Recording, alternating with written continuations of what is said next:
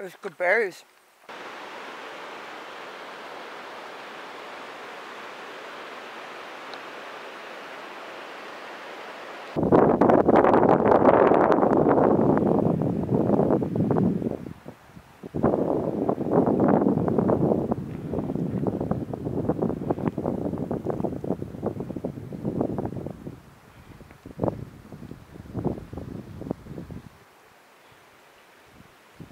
Uh, I'm about six hours in at this point. Um, been moving kind of slow because there's so many berries to eat.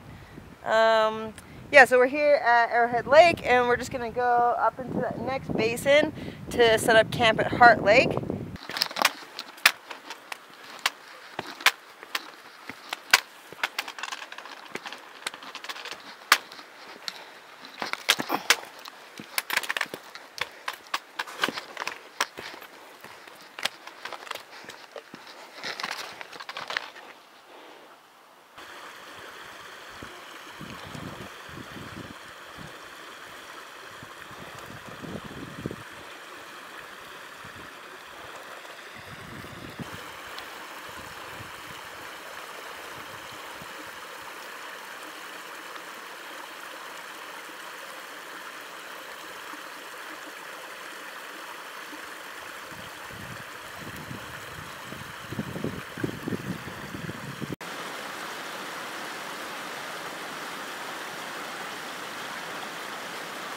Um, I chose this like kind of flat spot to camp. Uh, so yeah, I guess right now what we're gonna do is I'm gonna take off my boots because my feet are kind of sore. Um, I'm gonna set up my tent and then I'm gonna eat something because you can probably see how blue my teeth and lips are. Uh, uh, pretty much all I've eaten today is wild blueberries and black huckleberries and um, one blueberry fig bar. So I also had blueberries and toast for breakfast. So I kind of need something that's not blueberries. Um, I'm pretty sure Frank would also like to eat before we walk anywhere else. Yeah, Frank.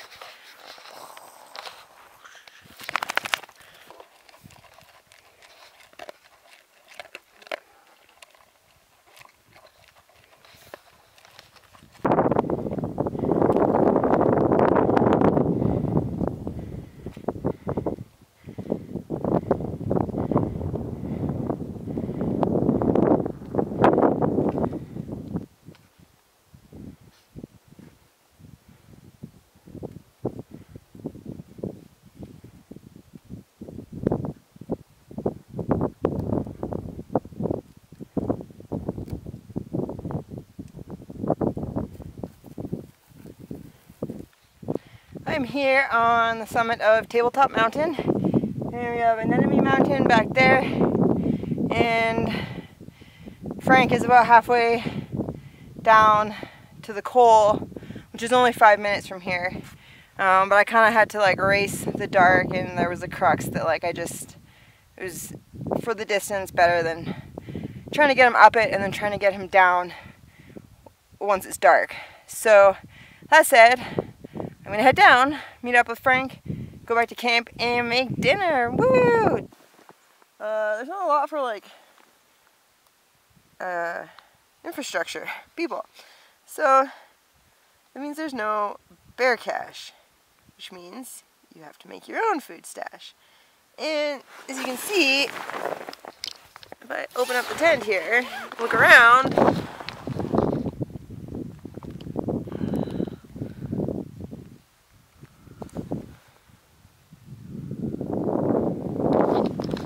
a whole lot for trees, and the trees that there are are not exactly bear safe trees.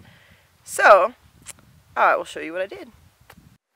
So you can see, there's my tent, and here's a bunch of trees, and if you come around here, see this white thing hanging. It's my Ursack because there's no way in this clump of trees you're going to put a bag anywhere. It's going to keep the bears away. So my favorite thing to have is Ursack. It is bear resistant. Nothing is ever bear proof, disclaimer.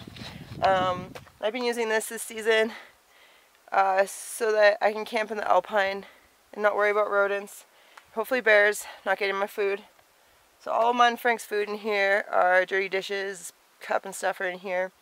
Um, and they say just do lots and lots of knots. So and then it's tied to a tree.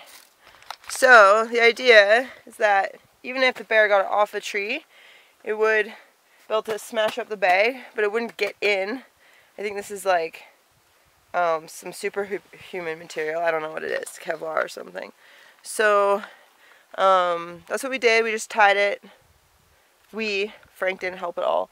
I just tied it to the tree and then um, doesn't go anywhere.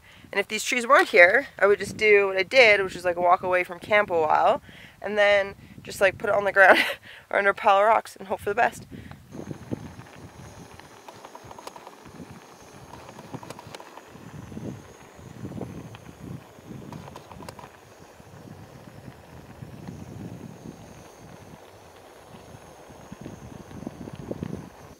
Like it's to be another fun smoky day and it is very slightly clearing so fingers crossed um, that wind keeps up and brings the smoke away and hopefully doesn't bring the rain that's forecasted but we'll see. I'm just uh, in the process of making coffee because I need that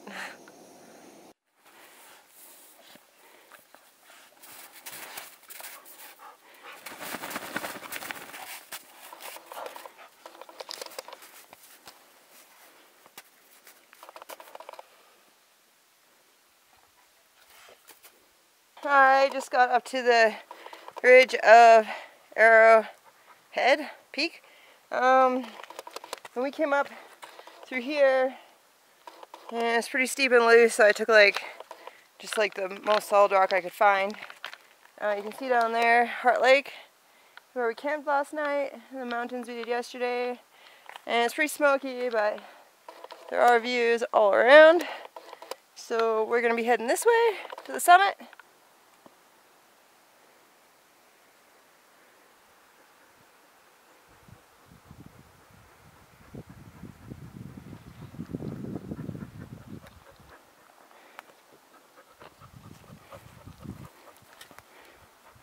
Um, so I'm here on Arrowhead Mountain. Um, when I was over there, I thought this was the summit, but now that I'm here, maybe that's the summit. Regardless, we're going to continue that way, down to the col with Tynemouth, and then we got to figure out where to go up. Um, from here, it kind of looks like a big, scary pile of rocks and snow, but I know that once I'm there in it, it won't be so bad.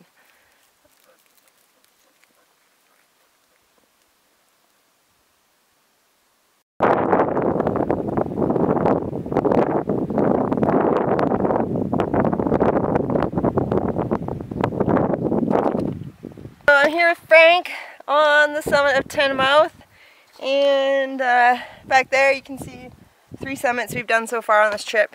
Um, the last bit here was pretty scrambly and pretty tense and I had to not only carry my big bag, I had to carry Frank's bag because it was a little steep and a little exposed for him to be able to do it with the pack on, um, which made it extra exciting for me.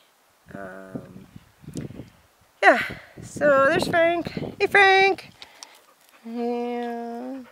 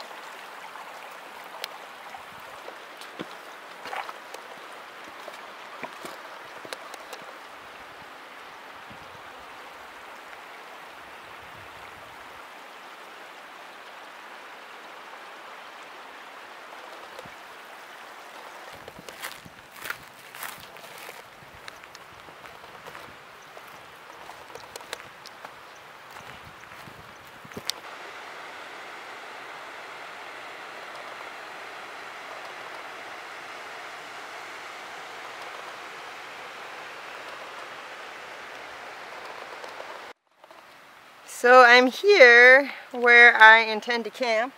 Right here. Um, my feet are killing me. Uh, I've had my boots for six seasons now and this season my feet are bigger.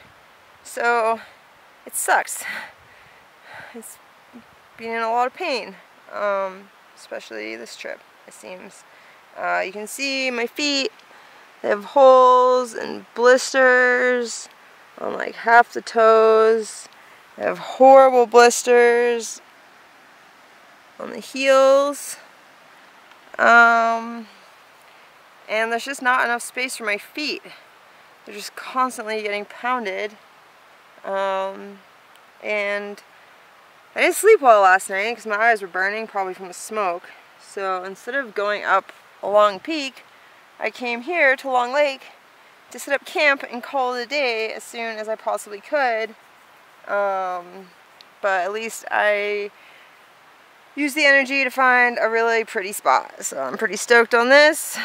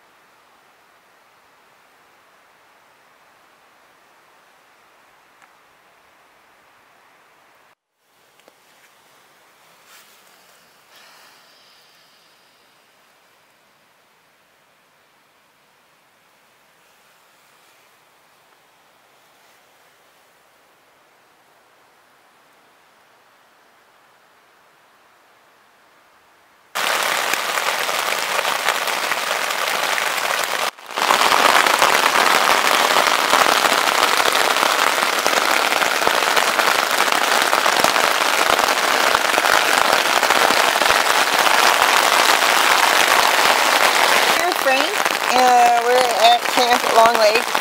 And I probably should have started my day at 3.30 in the morning when I woke up full of energy, but I didn't. I went back to sleep till 8.30. And then I didn't rush. And I was about five minutes from breaking camp and being out of here. And this started. Um, the rain. And it's raining pretty hard. So considering I have about 15 kilometers ahead of me, don't really want to start it soaked, so I'm going to spend a while here and see if I can wait it out.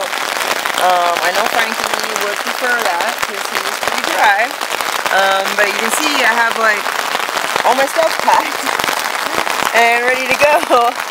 And just didn't quite happen. And since no one is going to come look for me till the day after tomorrow, um, I might as well just hang out here avoid burning calories and see if maybe I can walk out in the dry.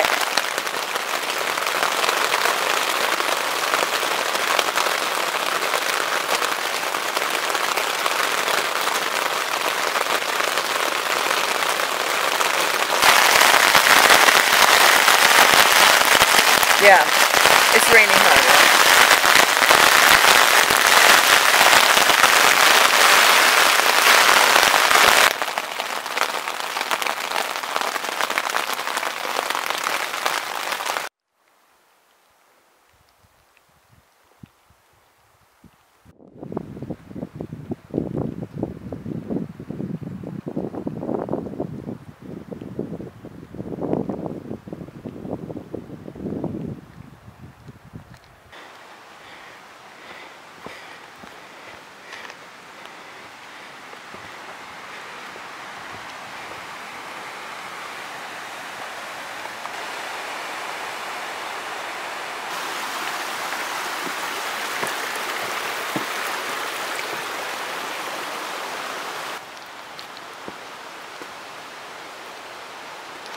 Hey, I'm here at the Lizzie Creek Cabin um, with Frank. He just got back from a little adventure, and you can see my lips are real blue. Um, between Long Lake and here, there was tons of blueberries, black huckleberries, so I just totally gorged. I was starving. Um, so I waited out the rain this morning for about an hour. And then luckily it broke, and I managed to get here without getting too wet. Um, And so I'm just like about to have lunch and make some more coffee, eat some chocolate, just kind of consume some weight. You ready to go, Frank?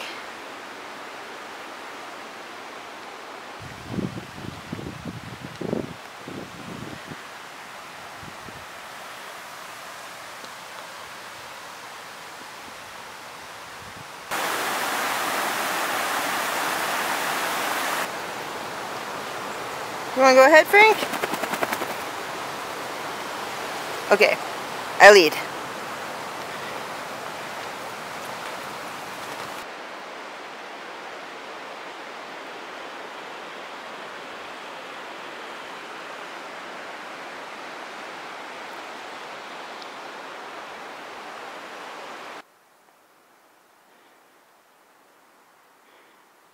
So I'm here at Lizzie Lake and I just stopped and picked a bottle full of um, blueberries and black huckleberries. It is September. These are salmon berries. It's freaking crazy. I've never eaten salmon berries in September, let alone the biggest, juiciest, tastiest salmon berries I've ever had. And my fingers are stained from blueberry picking. I've eaten about eight different types of wild berries on this trip. I have begun my descent from Lizzie Lake. So I have a belly full of berries and a bottle full of berries and 11 kilometers to go and a thousand meters descent. Um, had a pretty exciting moment just back there um, with Bear in the campground and so pretty stoked to get below the uh, berry zone.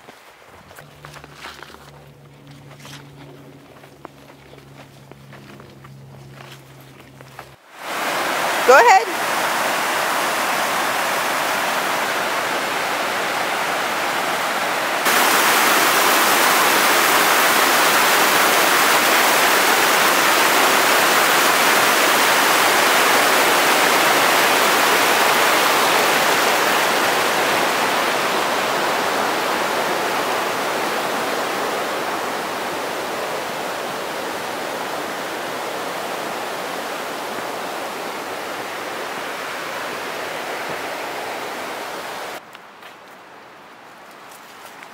Go ahead.